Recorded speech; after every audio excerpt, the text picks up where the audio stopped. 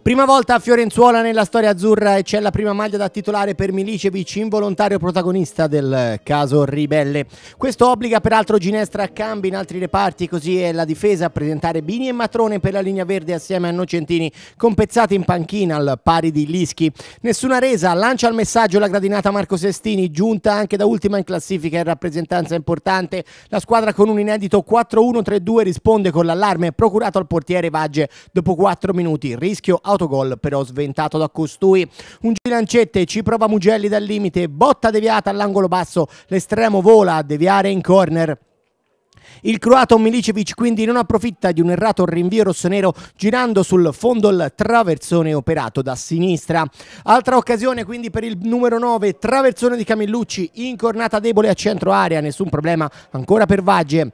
La ripresa vede un miglior approccio rispetto al primo tempo per il Fiorenzuola, cross da sinistra, Pezzi non arriva alla deviazione sotto porta.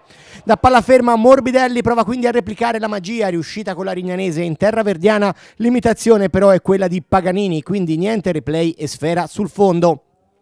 L'occasione più importante fino a questo momento arriva negli ultimi minuti del match. Corner di Guglieri, svetta Bagaglini a centro aria, Grosso è salvato dal palo, poi la difesa sulla respinta libera. Quindi Grosso anticipa anche Pezzi al limite dell'area piccola sul nuovo assist di Contini. Nella circostanza il portiere rischia persino l'infortunio, ma ecco che c'è Casolla subentrato a Morbidelli ad anticipare Bagaglini. Minuto 45 al limite, inserirsi in aria e superare Vagge sul primo palo. Gol con ammonizione presa per la maglia gettata via, ma la rete del vantaggio varrebbe molto di più, non fosse che al terzo minuto di recupero la gamba tesa gli costa il secondo giallo di giornata e quindi la doccia di poco anticipata, così tocca a Grosso salvare ancora il risultato sulla stoccata di un altro neoentrato, Bocciway, respinta sulla linea e tre punti conquistati, ma negli spogliatoi però attenzione alle parole del capitano Mugelli, una sorta di ultimatum al patron perpignano.